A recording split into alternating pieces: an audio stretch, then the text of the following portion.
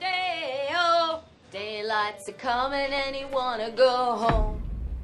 Let's get the party started. Grandma, you weren't invited. That's the best kind of party, little girl.